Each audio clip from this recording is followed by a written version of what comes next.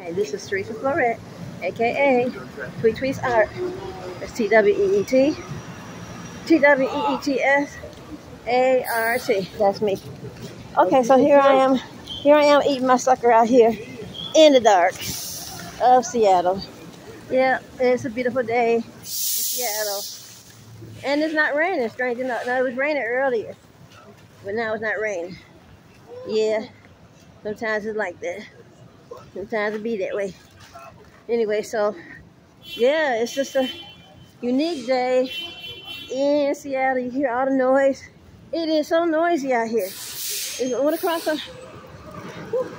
It does. Anyway, so yeah, uh, it's pretty dark.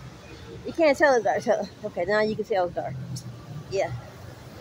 Anyway, so this is a beautiful day. Everybody should enjoy this day. This is the day the Lord has made. I will rejoice and be glad in it.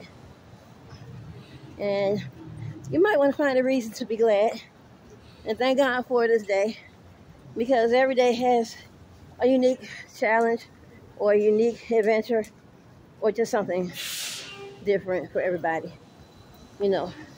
So you do you and Lord do you. Let the Lord do you. Let the Lord help you. Let the Lord lead you and guide you in direction. And uh, just enjoy. But with the joy of the Lord, you can have some strength. Because the Bible says, the joy of the Lord is my strength. It can be your strength too. I hope you can hear me because it is noisy out here. Okay. USA, USA, USA. okay. Good night.